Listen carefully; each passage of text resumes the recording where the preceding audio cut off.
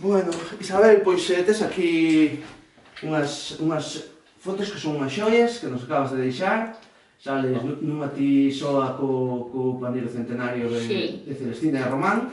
Eh, mira, e aquí o que ten é o, o adorno pandeiro, claro, que agora claro, xa o perdeu. Claro, que lle falta. Perdeu foi o que se perdeu foi iso, porque isto era, ainda ten aquí, ardeces un cachiño aquí a colar. Sí, un restiño sí, sí, vermello, sí, verdade? Sí, era sí. como, era, era de fieltro estaba cortado como se fora en piquillo, non sabes? Facendo chiqui chiqui chiqui sí, chiqui, sí. chiqui, ¿eh? non? E, eh, e despois estaba con este, debía de ser con estes con estes claviños que ten aquí, e a, non sabes, que mira, non miras como ten así como os claviños. E o pandeiro ese contáronos que ten cantos 30. mi, 140 Mi madre, anos. cantos anos hai, cantos anos terá. Verdade, porque o... El, eh, era meu abuelo. Naceu, naceu en 1880 calcularon. Sí, calcularamos daquela. E fi, fixo de... El fixo dun...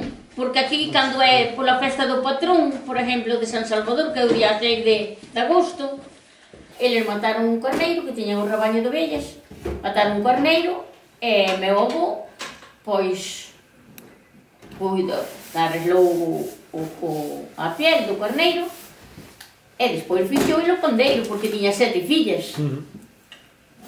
Tiña sete fillas. E este fixo yo para a moi bella. Era tocadora? Tocaba, sí. Para iso tiña... botabanlle este cantar cando era no serán, botabanlle de cantar.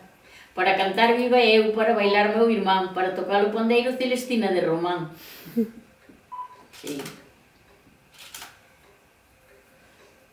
Vouche dicir unha cousa, mira moza que te aviso. Cos homes teñe máis voltas que as piñas ten un ourizo. É verdade. Esta nova, esta non nos quitaron nunca, eh? A ver, repítenos la porfis. A ver, Ai.